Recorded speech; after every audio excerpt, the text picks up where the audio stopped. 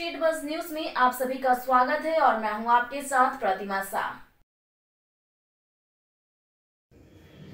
कटिहार में most wanted पचास हज़ार के इनामी अपराधी राजेश यादव को गिरफ़्तार किया गया है। राजेश मोहन ठाकुर गिरोह का सक्रिय सदस्य है।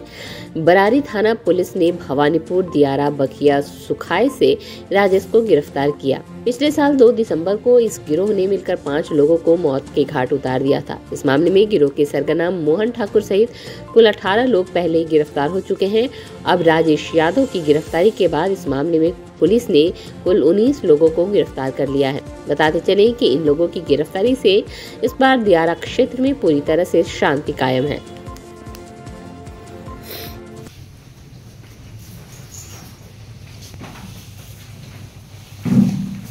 कटिहार जिला का पचास हज़ार का इनामी है, राजेश यादव।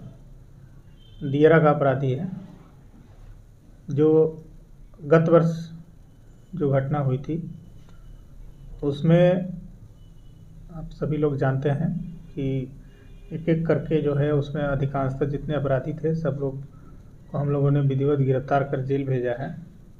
उसमें एक अपराधी जो है ये राजेश यादव था, जो अभी तक फरार चल रहा था। तो इसका हम लोगों ने पचास हज़ार रुपये तक का इनाम रखा हुआ था।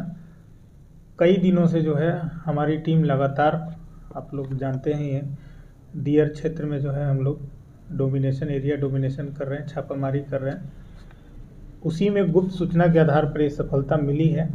ये राजेश यादव है ये बकिया सुखाए का है।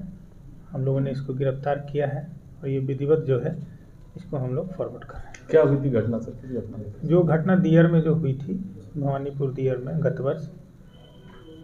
उसी में जो है ये मोहन ठाकुर का ये सहयोगी है।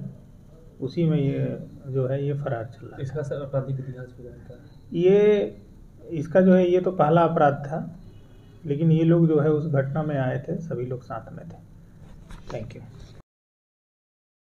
देश दुनिया की खबरों से अपडेट रहने के लिए देखते रहिए स्ट्रीट बस।